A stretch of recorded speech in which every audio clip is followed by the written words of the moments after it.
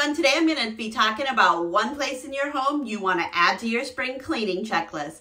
I'm Melissa Kistler and I help busy moms create cleaner, safer, and better homes for their family.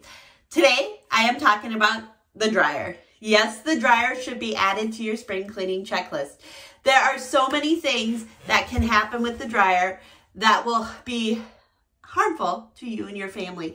So first up, when using the dryer, not only should you do this during spring cleaning, but every time before you dry clothes, you wanna make sure that lint trap is clean. Mine is a double layered lint trap, so it's, you gotta open it up. I'm gonna pull all that lint out, make sure it's nice and clean and ready to dry my next load of clothes. The next thing I always do, and I do this about once a month, not just during spring cleaning, is I want to make sure this trap in here is nice and clean. So I just take my EnviroWand. Um, anything you can get down in there, they make um, attachments for vacuums, and you just kind of go down in a couple of times, make sure you pull up any lint.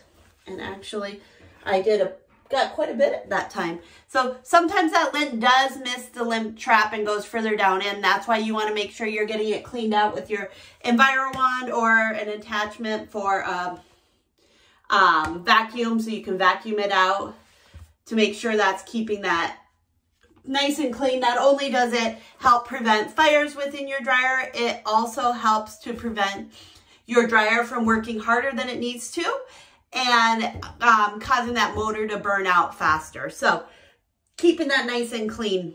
So next up, um, one thing you want to do when you're using your dryer is those dryer sheets that so many people love to throw in their dryer. Guess what? Those are one of the most toxic products you can be using in your home.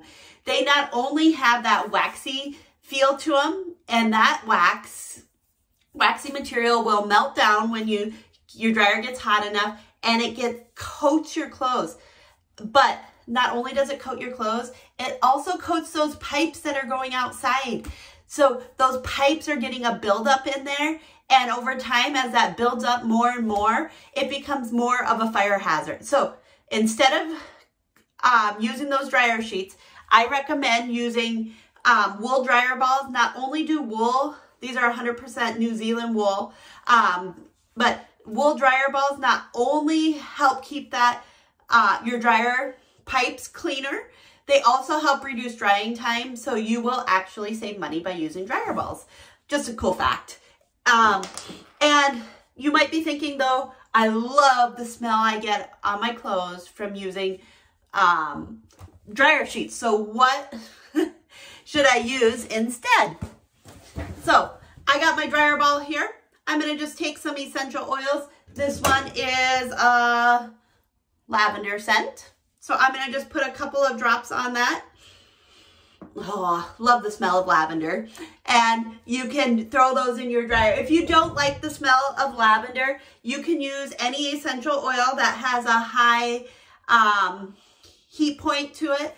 You don't want to use ones that have low heat points because um, your dryer does get hot. So just watch out for that. So I can use those.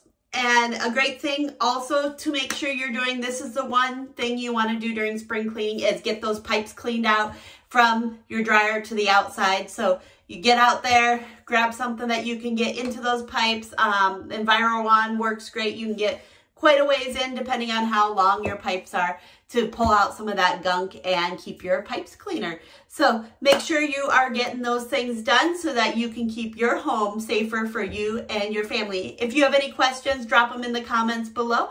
I'd love to help you answer those and don't forget to hit subscribe so you don't miss out on any future videos to come. Thanks for watching. I hope you have a wonderful day and have lots of fun with your spring cleaning.